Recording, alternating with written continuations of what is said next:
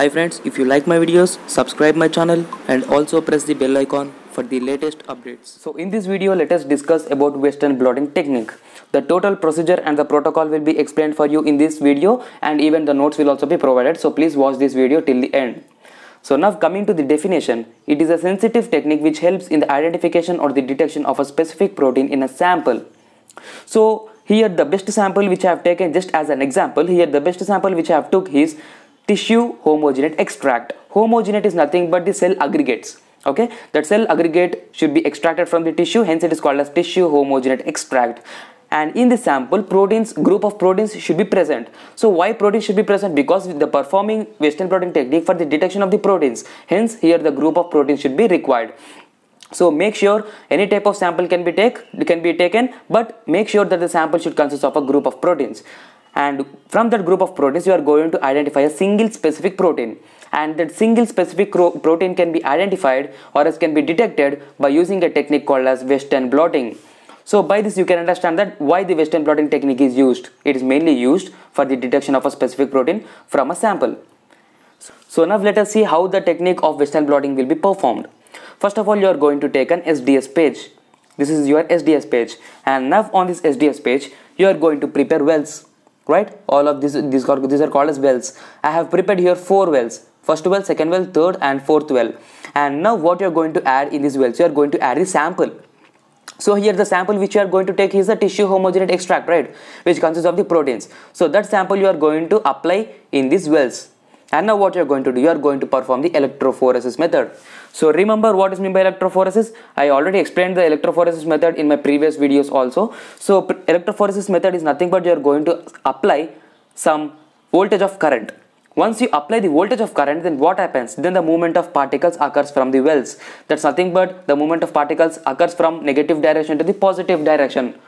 So here the protein sample are present at the negative side of the SDS page, right? So once you apply the voltage of current, then what happens? These proteins start separating because the proteins will be in uh, four like structures. I mean primary, secondary, tertiary and quaternary structures, right?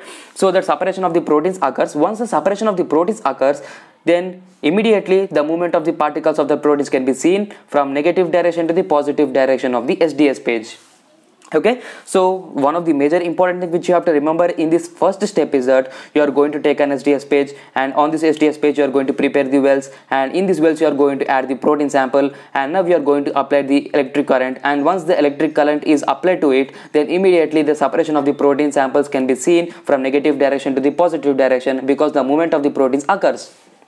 So this is the first step which you are going to do. Now coming to the second step what you're what you're going to do in the second step actually so keeping this apart now on the other hand you are going to prepare a basement. And on this basement you are going to place a filter paper. So this pink color one which i have drawn is nothing but the filter paper. On this filter paper you have to place a sponge. And on the sponge you are going to place this SDS page which consists of the proteins. So this blue color one are nothing but the separated proteins right? So now this SDS page which consists of the separated proteins should be placed on the sponge like this. So this is the SDS page which consists of the proteins. Remember separated proteins okay. So now what you are going to do? You are going to place a membrane sheet on this SDS page. And on this membrane sheet you are going to place a weight. And in this way you are going to arrange the apparatus. And now here listen properly. Now what you are going to do is that you are going to apply some force on this weight. You are going to apply some pressure to this weight. Once you apply some pressure to this weight, then immediately this membrane sheet will start attracting towards this SDS page. And then what happens? Then the proteins which are present on this SDS page will start attracting towards this membrane sheet. It attaches to the membrane sheet. Okay, all of these proteins which are present on this SDS page will get attracted towards this membrane sheet okay so now what you are going to do you are going to remove this weight and now we are going to remove this membrane sheet also so up to here this will be your second step right? In the second step what you are going to do you are going to place a membrane sheet on this SDS page such that you are going to apply pressure on this membrane sheet. So what happens the proteins which are present on the SDS page will get attracted to this membrane sheet. So this will be your second step. And now coming to the third step this will be your membrane sheet. And on this membrane sheet the proteins will be uh, present. Here because uh, the proteins has been attracted from this SDS page right? So in this way the all of this blue color one is nothing but the proteins. So now here to these proteins you are going to add the antibodies so here what type of antibodies you are going to add here? Animal derived antibodies, right? You are going to add the animal derived antibodies onto this membrane sheet.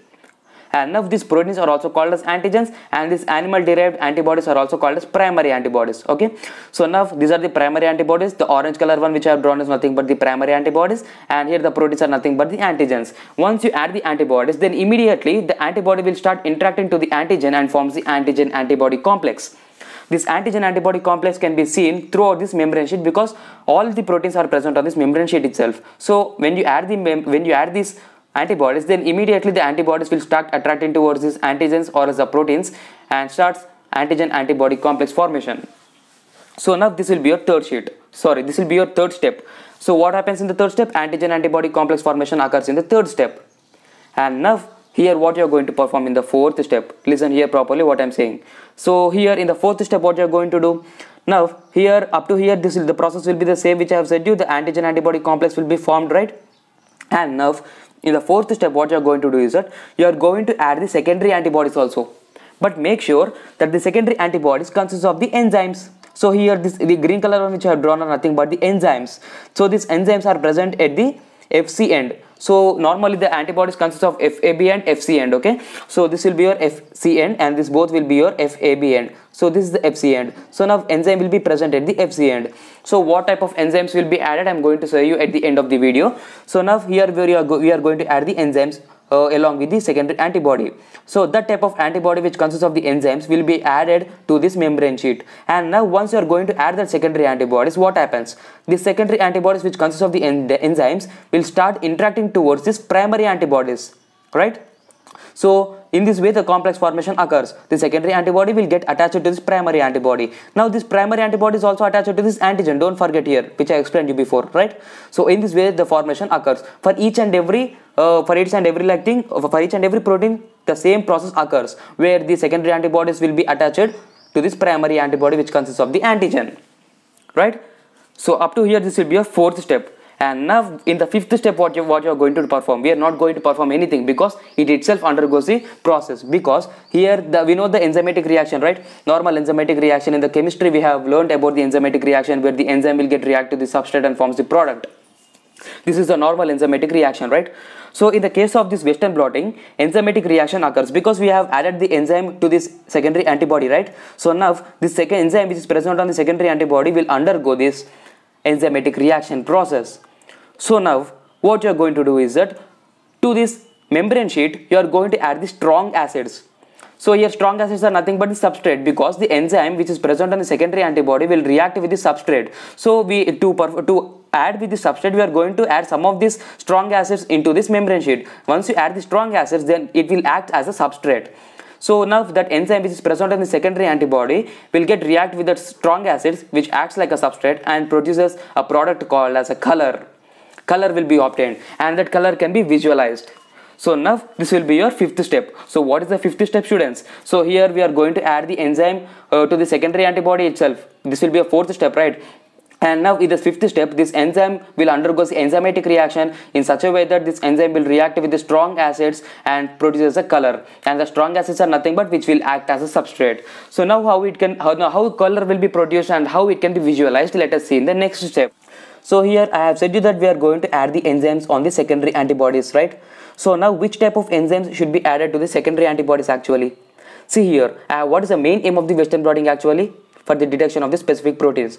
So that specific protein which is suitable for that enzyme only should be added right? So that enzyme should be suitable to that specific protein and that enzyme only should be added to the secondary antibody such that it can detect that specific protein okay? Remember my sentences properly. And now in the next step what you're going to do you are going to perform the autoradiography technique. In such a way that here the back from the background the light will be uh, exposed and once the light will be exposed from that light box from the background then immediately that color can be visible. How that color can be visible? By the enzymatic reaction which is performed by that enzyme which is present on the secondary antibody right? So in this way we can detect the specific protein. By observing that light we can detect that this is the this is the specific protein which is mainly required for our use in this way we can detect the protein. So what is the main aim of the western blotting technique? For the detection of the specific protein which is present in the sample. So this is a specific protein which can be detected by observing that color by using autoradiography technique. So i have said you that the enzymes will be used eh, for the, uh, which which are attached to the secondary antibodies right? So what are the enzymes which will be used? Alkaline phosphatase horseradish peroxidase and radioactive labels. So once you use these radioactive labels or fluorescent labels then enzymatic reaction doesn't occur. Because the enzymatic reaction occurs only for the enzymes but not to these labels. So this alkaline phosphatase is the enzyme which is mainly prepared by the combination of 5-bromo-4-chloro-3 indolyl phosphate and nitroblue tetrazolium. And now the substrates which are going to use on this membrane sheet are nothing but peroxidase reagent or else you can also use luminol or enhancer solutions and once you use these enzymes and substrates then enzymatic reaction occurs such that the color will be obtained in this way such that we can detect a specific protein. So in this way the western blotting technique will be performed. And the notes for this topic will be given in the whatsapp group and the invite link of that whatsapp group will be given in the description box. So by using that link you can join us in the whatsapp group. So the notes will be provided there. So if you have any doubts regarding this video you can comment in the comment box or else you can also ask in the whatsapp group. And if you like this video just do like and subscribe. And if you have